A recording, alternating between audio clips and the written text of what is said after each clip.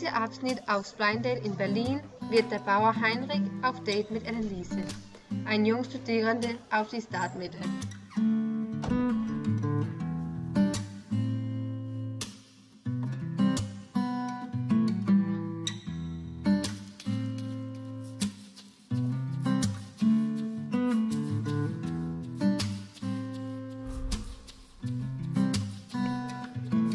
Heinrich hat ein vornehmes Sushi-Restaurant gewählt, obwohl für ihn das Gewöhnliche ist Zwiebelsteak und Kartoffeln.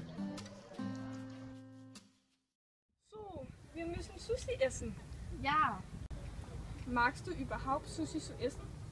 Mm, na, ich habe nie Sushi gegessen, aber ich glaubte, dass ein Mädchen als du Sushi isst. Was mit einer Wurst zu essen? Ich würde sehr gerne mit dir eine Wurst essen.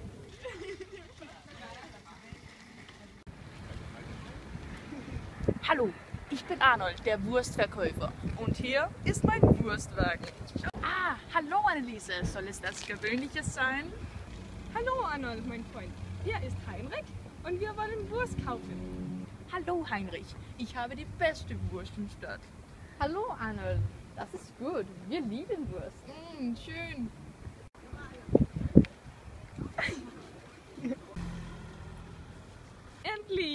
Mm, das riecht gut. Tschüss, meine Freunde.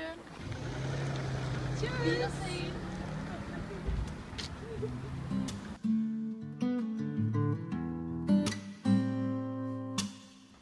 Der Tag ist vorüber und Blind Date in Berlin hat noch einmal ein erfolgreiches Date geschaffen.